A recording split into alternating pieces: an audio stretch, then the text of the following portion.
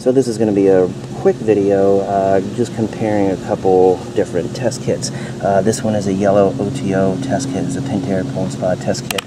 And this one is mine. Uh, it's a Taylor K2006 pool water test kit. So if we come over here, as you can see it's a yellow OTO that tests for chlorine and for the pH. And here are the two vials. Uh, you just simply put your pool water sample in there and then uh, put the drops in put the drops in here and then, and then just compare uh, the uh, color of your pool water to the chart right here. And it says ideal is one to one and a half. I don't really agree with that. I think that the ideal for home pools can be two to four parts per million.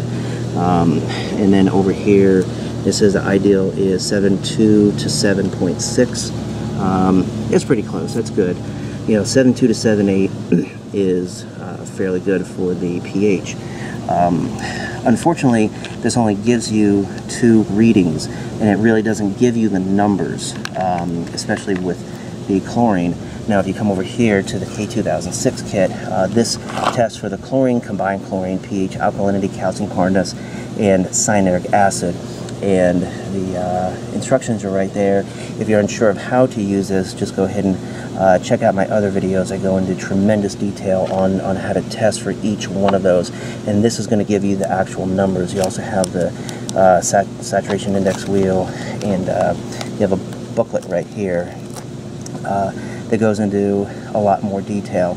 But really, for your money, you know, these are okay, I guess, you know, if uh, you know if you're in a hurry. Um, but honestly, you know, I had my pool route in Arizona.